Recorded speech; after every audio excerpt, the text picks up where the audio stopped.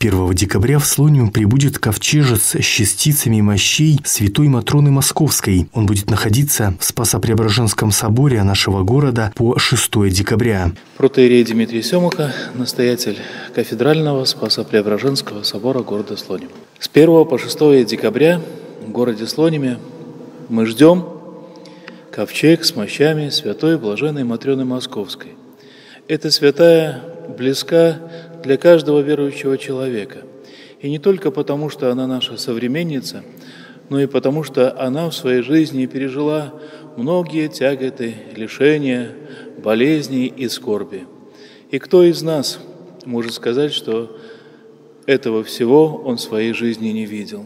Святая Блаженная Матрена, пережив все трудности – помогает и нам с вами, тем, кто обращается к ней с верой и молитвой, эти трудности пережить.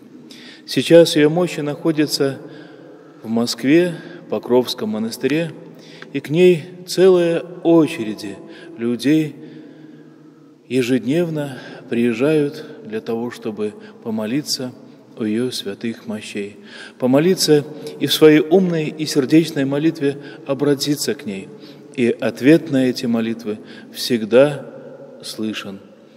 Говорят так, к пустому колодцу дважды не ходят. И вот к святой блаженной Матрёне люди идут из-за того, что она их слышит.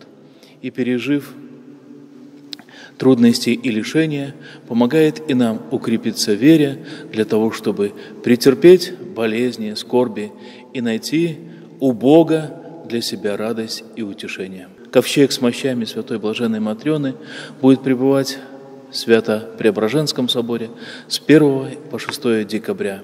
И каждый из нас может поклониться, приложиться к мощам и попросить у Святой Блаженной Матрены ее помощи и заступничества у престола Божия.